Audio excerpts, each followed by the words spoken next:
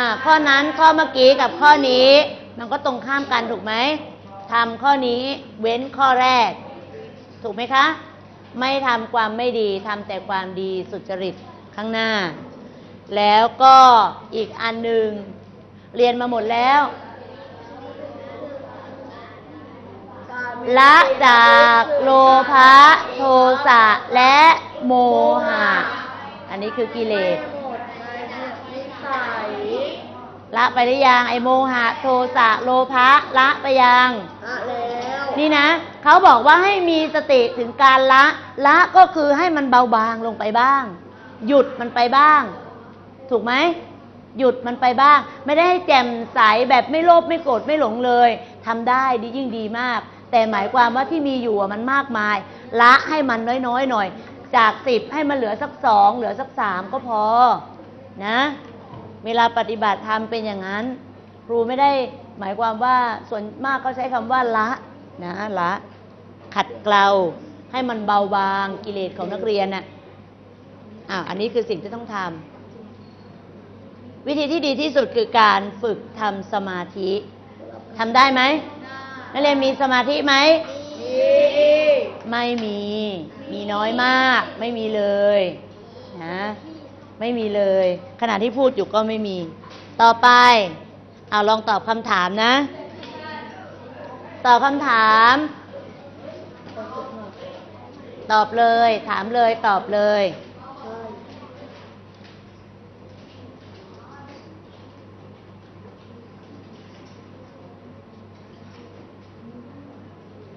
ลองย้อนดูตอบได้หรือเปล่าไม่ทราบ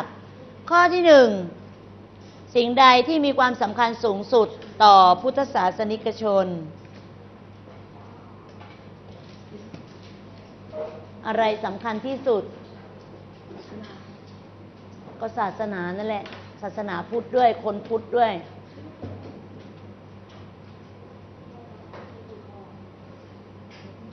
มีทั้งหมดสิบข้อ แต่แล้วแต่เวลา ข้อนี้ตอบข้ออะไรคะข้อนี้ตอบข้ององูต่อไปอ้าต่อไปข้อสองอ่าวิธีนี้ไม่เหมาะกับนักเรียนชั้นป .6 ทับหนึ่งครูอ่านให้ฟังแล้วก็ตอบแล้วเดี๋ยวมาเฉลยทีหลัง ผู้ที่ประพฤติความดี เอื้อเฟื้อเผื่อแผ่ต่อผู้อื่น ย่อมได้รับไมตรีและการสรรเสริญตอบตรงกับหลักศรัทธาข้อใด ผู้ที่ประพฤติดีเอื้อเฟื้อเผื่อแผ่ย่อมได้รับการตอบรับไมตรีและการสรรเสริญตอบตรงกับหลักศรัทธาข้อใดกรรมศรัทธา วิปากะศรัทธากรรมัสสกตาศรัทธาคาถาคตโพธิศรัทธา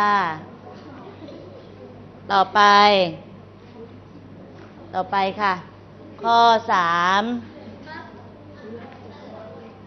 อบายมุขข้อใดที่ทำให้สุขภาพเสื่อมโทรม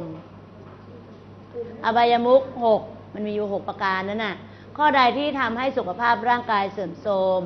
เล่นการพนันเที่ยวดูการละเล่นดื่มสุราสารเสพติดคบคนชั่วเป็นมิตรอ้าวเลือก ต่อไป การปฏิบัติตนตามหลักธรรมใดที่ทำให้เป็นบุคคลที่มีความนอบน้อม หนักแน่นและมีความจริงใจต่อผู้อื่นหนักแน่นนอบน้อมจริงใจ มงคล 38 คารวะ 6 เบญจธรรม หรือกุศลมูล 3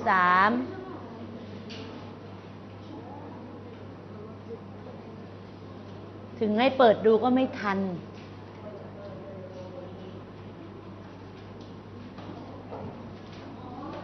อ้าวตอบได้แล้วต่อไปข้อ20ข้อ5ใช่ไหมข้อ5กุศลมูลทำที่เป็นรากเหง้าของความดี รากเหง้าของความดี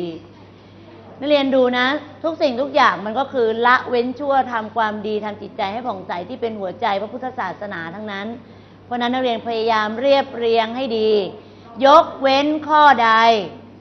อะโลภะอะโทสะอะโมหะอะสุภะ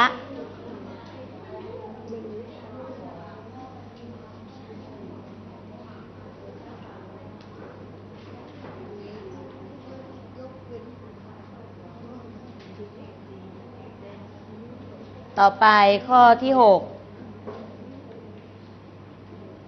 ข้อที่หกหลักธรรมหมวดใดที่ฝึกฝนให้บุคคลได้รับความสำเร็จในการเรียน ในการเรียนภาระสี่สงสัยจะข้อนี้แล้วมั้งได้ภาระตั้งสี่เบญจศีลอกุศลมูล คารวะหก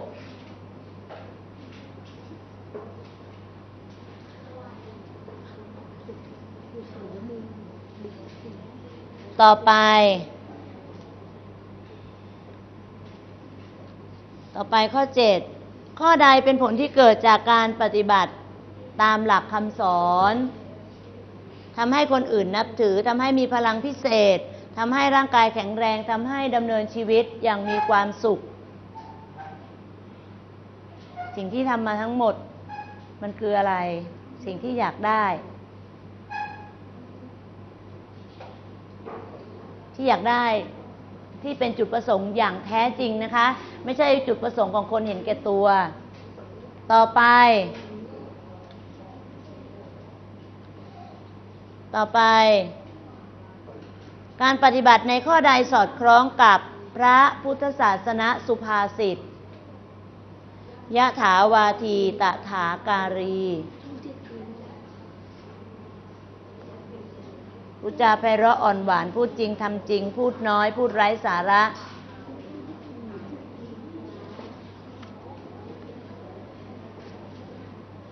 อ้าว เลือกได้แล้ว ต่อไปข้อที่ ข้อที่เก้าเมื่อรู้สาเหตุของปัญหาอบายมุขและสิ่งเสพติด ควรนำหลักธรรมข้อใดมาแก้ปัญหาจึงประสบความสำเร็จ ดูนะ เมื่อรู้สาเหตุของปัญหาอบายมุขและสิ่งเสพติดนึกให้ดี ควรนำหลักธรรมใด มาแก้ปัญหาจึงจะประสบผลสำเร็จ กออริยสัจสี่ขออบายมุขหกคอเบญจธรรม งอกุศลมูล การแก้ปัญหานักเรียนน่าจะเป็นเรื่องใด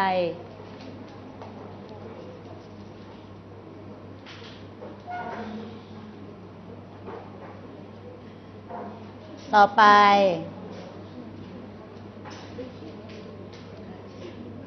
ต่อไปข้อสิบการทำความดีข้อใดเหมาะสมที่สุด ดูนะทำดีเพื่อให้คนรู้ว่าเราเป็นคนดีทำดีเพื่อให้สังคมเกิดการพัฒนา ทำดีเพื่อให้ได้รับผลตอบแทน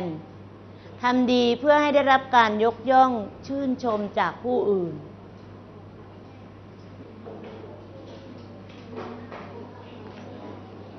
ถ้านักเรียนมีจิตใจที่งดงาม นักเรียนก็จะต้องตอบถูกทุกข้อ เพราะมันเป็นพื้นฐานของความดีทั้งสิ้น ไม่ว่าจะเป็นข้อไหนก็ตาม ต่อไป ตรวจคำตอบอ่าข้อสองอะไร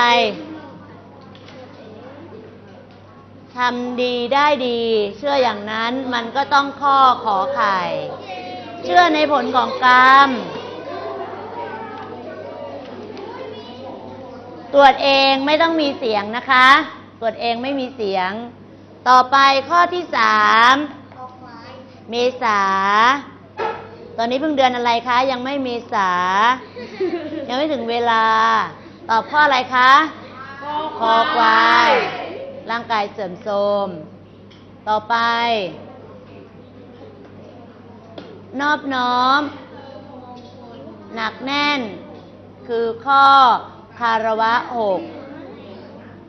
คารวะหกนอบน้อมอะ นอบน้อม ต่อไปข้อที่ห้าข้อที่ห้าอะไรที่ไม่ใช่รากเหง้าของความดีอะสุภะถึงแม้ไม่เรียนก็ต้องเดาได้ข้อนี้ ต่อไป ความสำเร็จในการเรียน น่าจะเป็นไหนคะ ละสี่พละสี่กำลังกำลังปัญญา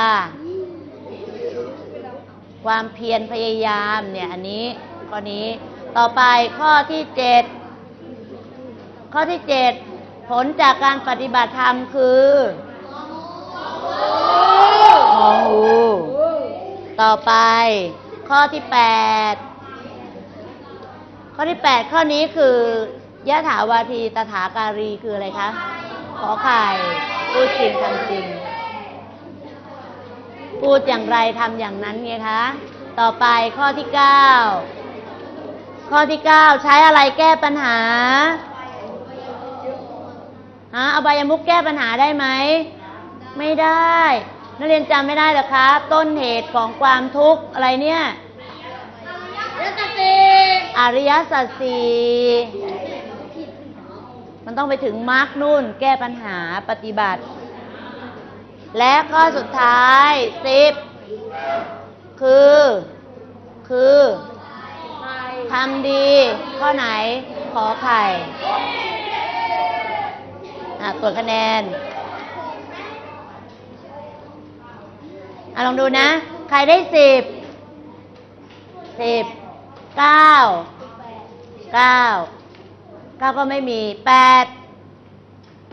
ปรบมือให้คนที่ได้แปดนอกนั้นไม่ผ่านคุณธรรม ไม่ผ่านนะ เพราะว่าอันนี้มันเป็นเรื่องของจิตใจนะนักเรียนไม่ผ่านนะคะ ต้องกลับไปอ่านเยอะๆเลย แล้วทำความเข้าใจและปฏิบัติจริงด้วยวันนี้ หมดเวลาสวัสดีค่ะ